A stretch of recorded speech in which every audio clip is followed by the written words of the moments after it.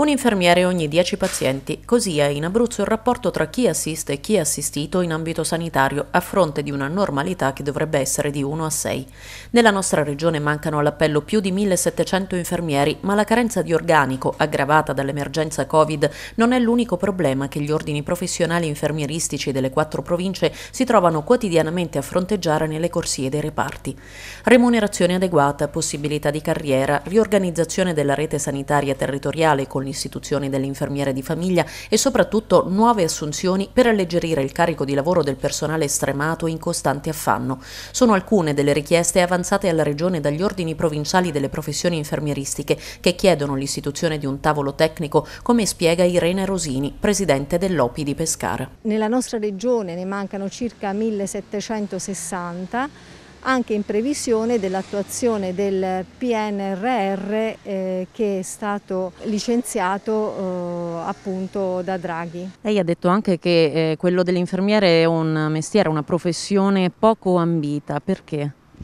È diventata meno appetibile rispetto alle altre perché nonostante il percorso accademico e tutte le responsabilità che la professione richiede, eh, non dimentichiamoci che noi abbiamo una responsabilità per colpa grave, una responsabilità contrattuale ed extracontrattuale nei confronti dei pazienti, che eh, di fatto però eh, non trova poi riscontro dal punto di vista sia diciamo, economico perché gli stipendi sono veramente risibili, sia anche per eh, come attivarsi anche al di fuori di quelli che sono i contratti di lavoro nella pubblica amministrazione, perché ad esempio i nostri contratti sono legati a un vincolo di esclusività che noi chiediamo assolutamente di rimuovere. Adesso con il piano vaccinazioni è stato allentato a quattro ore settimanali per permettere maggiori vaccinazioni però noi chiediamo che questo possa essere diciamo, esteso anche dopo perché ci sono tantissime RSA che chiedono gli infermieri nei loro centri ma di fatto non ci sono perché tra l'altro col Covid si è vista veramente eh, una fuga da tutte le RSA eh, perché se il rapporto qui in ospedale, diciamo tra virgolette, in alcune unità operative di 1 a 10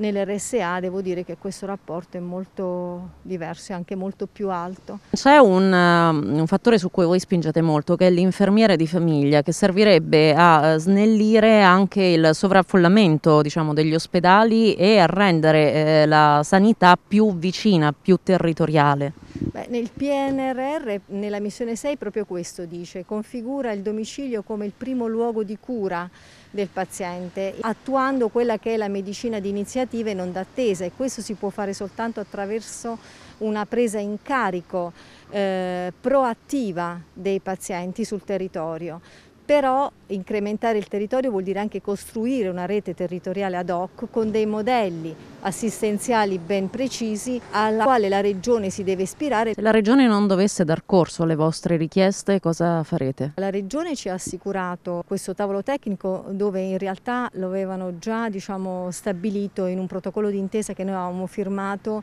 eh, un anno fa, ma non è un movimento soltanto regionale perché ci saranno azioni forti a livello nazionale per queste richieste da parte della professione che credo siano più che legittime rebelde.